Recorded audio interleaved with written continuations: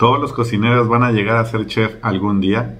Esta es una pregunta muy común que todos los que trabajamos en el área de cocina o en restaurante y en hotelería nos hacemos. Sobre todo cuando estamos empezando y en nuestra etapa de ayudantes de cocina, de cocinero B, de cocinero A, nos hacemos. Así es que si quieres saber la respuesta, quédate al final de este video donde te voy a estar platicando qué es lo que se necesita o cómo es que un cocinero logra llegar a ser chef. Hola, ¿qué tal? Bienvenidos una vez más a mi canal. Mi nombre es Sergio. El día de hoy te voy a hablar de un tema que para las personas que trabajamos en el área de cocina es muy común. Ese tema es cómo los cocineros llegan o no llegan a ser encargados o en su caso llegan a ser chef en el lugar o en algún otro restaurante con el paso de los años. Si este es un tema que te interesa, quédate conmigo y lo único que te pido a cambio es que le des like o que te suscribas a mi página si aún no lo has hecho. Bueno, sin más por el momento, vamos a empezar con el tema. Pues el tema de hoy ya lo sabe, vamos a hablar acerca de si todos los cocineros van a llegar a ser chef algún día. Primero me gustaría hacer la definición de qué es el cocinero y qué es el chef. El chef es la persona que está a cargo del área donde se producen los alimentos en un establecimiento que se dedica al servicio de, de venta de alimentos y bebidas. En estos establecimientos, obviamente, hay tamaños. Hay establecimientos pequeños, medianos, grandes, cadenas y supermercados y tiendas departamentales que también cuentan con chef. Entonces, nótese o hágase la, la aclaración que también hay diferentes tipos de chef. Por otro lado, el cocinero es la persona que está a cargo de preparar los alimentos que se venden en un establecimiento que se dedica a la venta de alimentos y bebidas. Como la definición nos dice, una persona que es un cocinero está a cargo de un área pequeña y el chef está a cargo de un área más grande. La cuestión es que este cocinero se dedica a hacer unas preparaciones y unos, em, y unos mise en place que seguramente comparte espacio en la misma cocina con otro cocinero, con otro cocinero, con un preparador, con un lavaplatos, con un este con un personal que limpia cocina y el chef es el que se está encargando de vigilar, de supervisar o de dirigir las actividades de cada uno. Nosotros los cocineros cuando empezamos a trabajar en cocina, nuestra nuestra tirada, nuestra meta o una de las cosas que más soñamos es llegar a ser chef o llegar a ser la persona que está a cargo y que está mandando y que nosotros vemos muchas veces pues que no hace tanto y que nosotros somos los que estamos sacando toda, toda la comida en chinga. Pero, ¿cómo es que, cómo es que un cocinero llega a ser chef? O la pregunta es, ¿es, ¿es posible que un cocinero llegue a ser un chef algún día? Y la respuesta es muy fácil. Sí, sí es posible solamente que no va a ser un camino fácil, ni, ni tampoco va a ser un camino donde la gente te va a dejar llegar tan, tan fácil. Porque en el área donde nosotros trabajamos hay mucha competencia y muchas veces esa competencia también lleva años queriendo ser encargado o queriendo ser chef y bueno, pues a final de cuentas a todo mundo nos gustaría ser jefe de área, nos gustaría mandar y sobre todo todos nos imaginamos que, los jefes y los chefs siempre ganan mucho dinero, aunque no necesariamente siempre es así.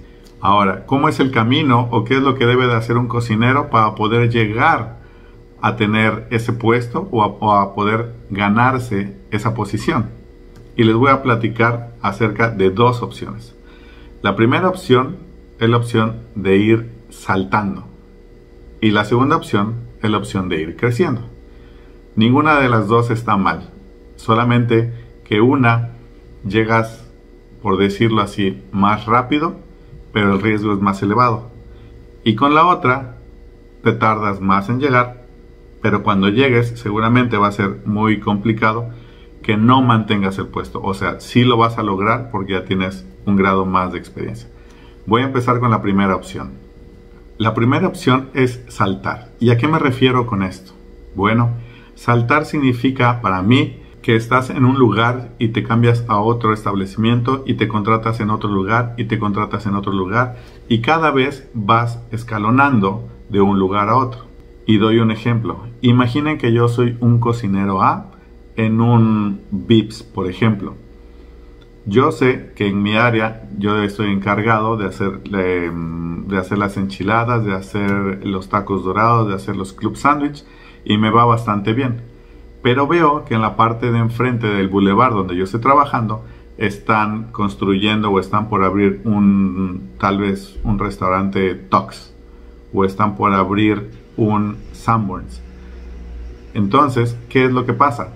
Bueno, lo primero que yo voy a hacer es investigar si ya están abiertas las contrataciones, voy a dejar mi currículum y de ahí voy a buscar las posiciones que están disponibles. Obviamente no voy a aplicar por la misma posición que yo tengo, porque mi idea debe de partir desde un inicio que yo quiero ir subiendo. Entonces voy a aplicar para jefe de cocina, para su chef o para encargado de línea.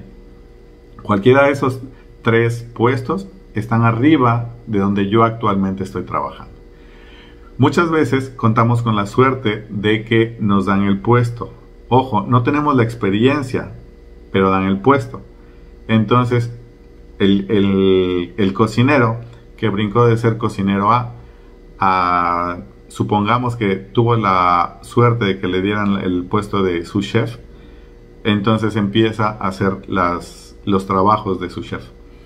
Y lleva apenas un mes trabajando, dos meses trabajando. Cuando llega el tercer mes se da cuenta que un kilómetro más adelante del bulevar donde estaba trabajando están por abrir un hotel, un hotel de cadena, ya sea un, un Iberostar, un Fiesta o algún hotel que, donde se van a abrir más vacantes.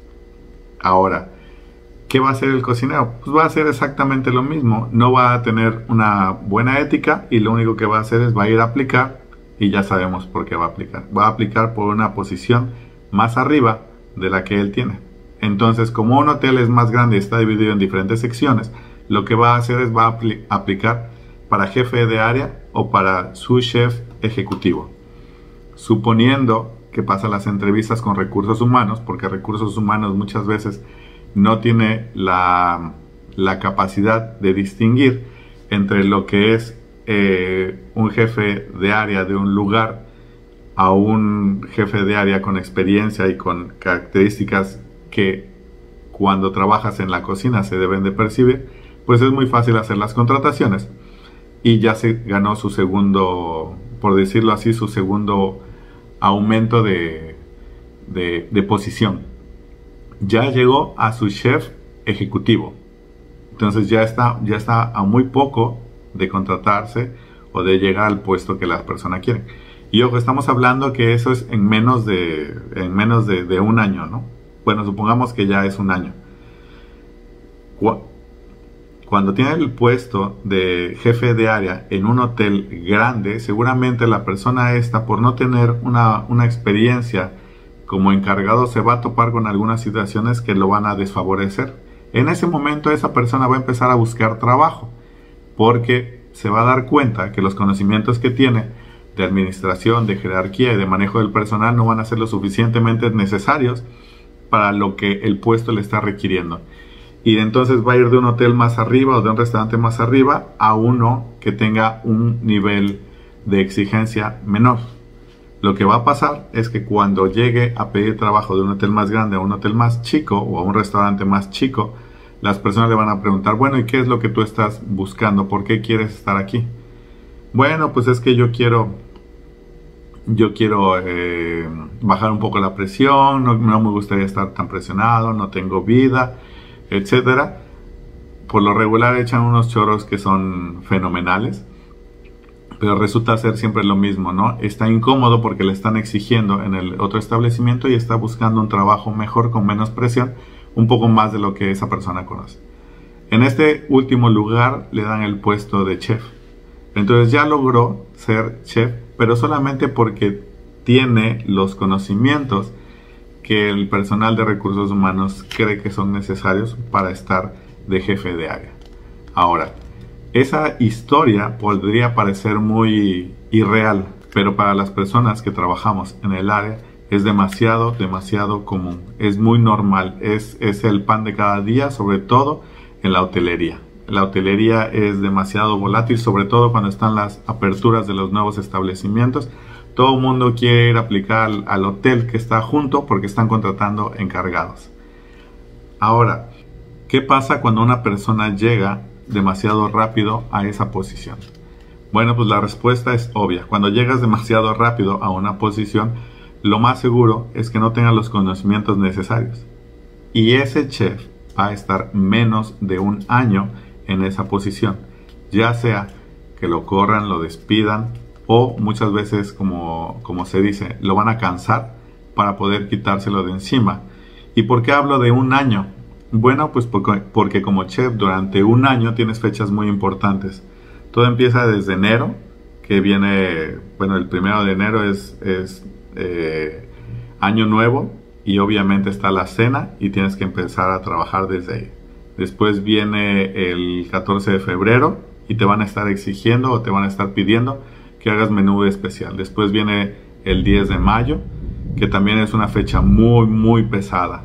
O sea, cada, cada mes te va exigiendo, te va pidiendo este, va aumentando el grado de, dificultad, por así decirlo. Después viene el Día del Padre, después vienen vacaciones si estás en un centro turístico y si no estás en un centro turístico como que es una zona o es una época de relax.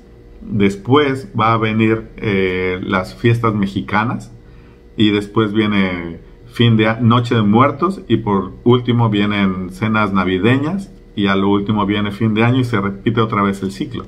Entonces, la persona esta va a tener oportunidades de demostrar su, valía o su, o, lo que, o su valor para la empresa durante lo largo de estas fechas. Pero si durante estas fechas lo único a lo que se dedica es hacer, eh, lo único a lo que se dedica es a culpar a los demás por los problemas o porque las cosas no salieron bien, entonces tarde o temprano los dueños y los encargados se van a dar cuenta que la persona que llegó demasiado rápido, pues no va a tener los conocimientos, el temple ni el accountability que se requiere para la posición. Ahora vamos a analizar el punto número 2. El primer punto es saltar y el segundo punto es crecer. ¿A qué se refiere esto de crecer? Esto de crecer se refiere a echar raíces, a generar una una base sólida para que entonces tú puedas ir subiendo y puedas ir creciendo y cuando vengan las tempestades o, las, o los, las épocas difíciles, tengas una raíz suficientemente fuerte para que no te mueva y no te tire. Entonces las personas que trabajamos en el área, pero que no nos gusta andar cambiando de trabajo tanto porque no nos sentimos cómodos y no nos sentimos a gusto brincando de un lugar porque demostramos inestabilidad y eso demuestra nuestra incongruencia como, como personas o como cocineros, lo que vamos a hacer es demostrar en el lugar donde nosotros estamos trabajando el valor que nosotros tenemos. Y vamos a responder durante las fechas que mencioné en el número anterior, que son Año Nuevo, 14 de febrero, Día de las Madres, Día del Padre, Noches Navideñas, eh, Día de Muertos, etcétera, etcétera, etcétera. A lo largo de todas estas fechas, los cocineros nos vamos a ir reconociendo entre el equipo de trabajo que manejamos y vamos a ver con quién podemos contar para qué actividad. Es decir, cuando viene alguien a contratar un evento al restaurante donde yo estoy trabajando como cocinero y dicen, hey, necesitamos gente que nos apoye y, nos ayude para sacar este evento, ya sabemos quiénes vamos a, trabajar. Pero de repente hay una persona que sabemos que no, le, que no le gusta hacer mucho y solamente se quiere parar el cuello. Nosotros mismos nos vamos a encargar de, de hacerlo a un lado porque yo quiero trabajar con las personas con las que sé que son responsables y me van a ayudar. ¿Esto de qué me sirve? Bueno, me sirve de que voy aprendiendo cómo es el trabajo en equipo. Voy aprendiendo las responsabilidades que debe de tener cada uno y la forma de trabajar. Esto es la base fundamental del trabajo de un chef. El trabajo de un chef requiere forzosamente el manejo del personal. Si yo no tengo las capacidades necesarias para manejar a mi personal, por muy bien que cocine y por muy rico que, haga mis alimentos y por muy bellas presentaciones, mi carrera está dedicada al fracaso. No voy a lograr llegar tan arriba porque los conocimientos que requiere la posición no solamente es de cocinar, es de saber de cocina, sí, pero es de saber de personal. Necesito hacer y, acordar que todos trabajemos en armonía. Cuando yo como cocinero empiezo a dirigir, empiezo a coordinar o me hago cargo de un evento, en ese momento yo no me doy cuenta, pero las personas que están arriba me están viendo y me están diciendo, ah, mira, sí, sí puede, sí puede, sí puede.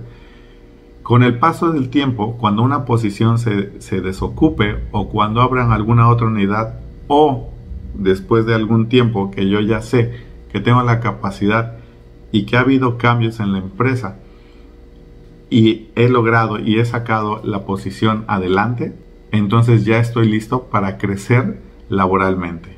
¿Y de qué forma voy a crecer? La primera es que le voy a decir a las personas que están arriba de mí que quisiera yo una posición de más responsabilidad.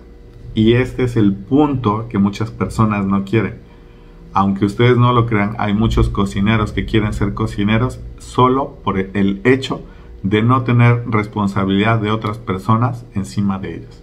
Y la frase más común es, no, a mí no me van a regañar por la culpa de otros. Yo hago mi trabajo y punto. Si los demás no hacen su trabajo, es cosa de ellos. A mí, a mí no me metas. Ellos obviamente no quieren llegar a ser encargados ni chef, pues porque no quieren estar a cargo de la responsabilidad que implica que todo lo que hacen las 6, 8, 10, 20, 30 personas que están trabajando en el área termina siendo la responsabilidad de uno como encargado. Entonces, para concluir y para más o menos darle, darle eh, un poco de, de guía a esta plática, es, hay dos formas de llegar arriba.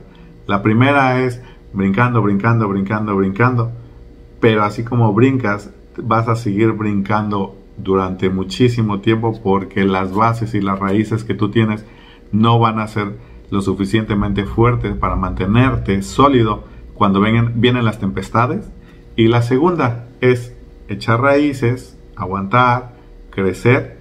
Y cuando estás creciendo vas aprendiendo, vas, vas moldeando tu carácter, vas viendo cómo es la dinámica del trabajo y entonces ahí es cuando muchas veces las, las posiciones vienen a ti. Tú no buscas las posiciones, sino las posiciones te están buscando a ti como persona importante porque ya demostraste lo que tienes y ya se vio tu valía dentro de la empresa.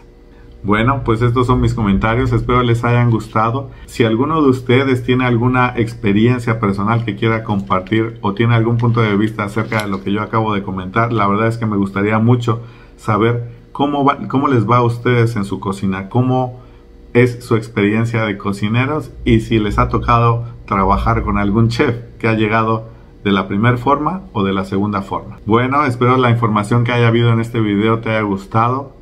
Recuerda, no olvides suscribirte, darle like a la página y sígueme para más videos.